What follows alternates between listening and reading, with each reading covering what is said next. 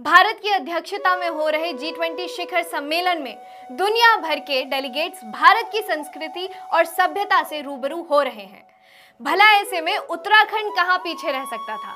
G twenty summit में उत्तराखंड का खाना, गाना और हस्तशिल्प के उत्पादों का खजाना हर किसी को लुभा रहा है। जी ट्वेंटी सम्मेलन में देवभूमि उत्तराखंड के हैंडीक्राफ्ट के स्टॉल लगाए गए हैं, जहाँ पर देश के ही नहीं, विदेशी मेहमानों की भी भीड़ जुट रही है। उत्तराखंड के मिलिट्स भी जी ट्वेंटी की शोभा बढ़ा रहे हैं।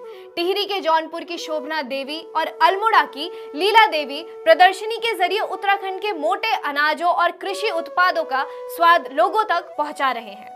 अब यहीं पर अगर उत्तराखंड की बात हो और संगीत ना हो, ऐसा कैसे हो सकता है? एयरपोर्ट पर मेहमानों के स्वागत के लिए उपरेती सिस्टर्स के गाए गए इस खूबसूरत कुमाऊनी झोड़े को आप भी सुनिए।